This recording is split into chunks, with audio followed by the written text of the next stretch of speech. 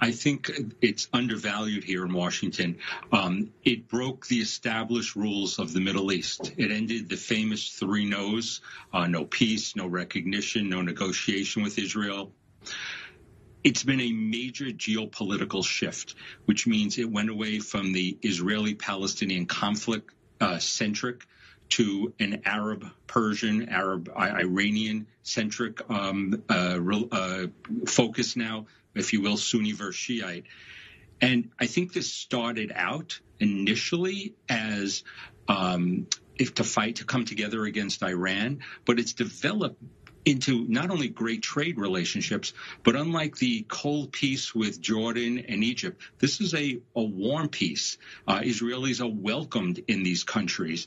Um, so this is truly something that's extraordinary. And unfortunately, I think maybe because it was um, initiated um, by the by, by the Trump administration, the Biden administration has really kind of suffocated it, and I think is missing a huge opportunity. I think it undervalues the importance here here because it keeps going back to the tried and true um, uh, failure of uh, the Israeli Palestinian conflict as the Gordian knot to untie of what's here. The Palestinians are still wagging the dog um, of the Middle East. Um, but that's how the Americans see it. But that's not how the Middle East sees it. And especially with America um, being perceived as withdrawing from the region and maybe withdrawing from Syria and Iraq, this Abraham Accords if handled correctly by the United States, could be incredibly important for American national security interests. So, given what you've just said, Eric, regarding you know the new Middle East, these are you know warm ties between a number of nations.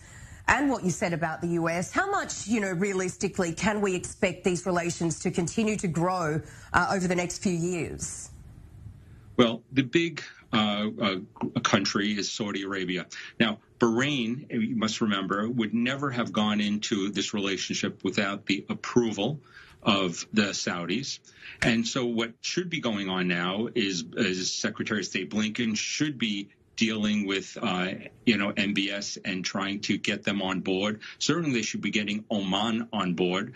Um, the problem is there's a large portion of the um, uh, Democratic foreign policy wing that has a lot of animosity, especially ever since the Khashoggi um, affair. Um, and again, in the Middle East, uh, you're not dealing with uh, Democrats with a little d. You have only one little d Democrat, that's Israel. Everybody else you take as shared interests, and the shared interests for America should be to bring the Saudis on board. The Saudis have reformed themselves, maybe not as much as we'd like, but a lot, certainly compared to Iran.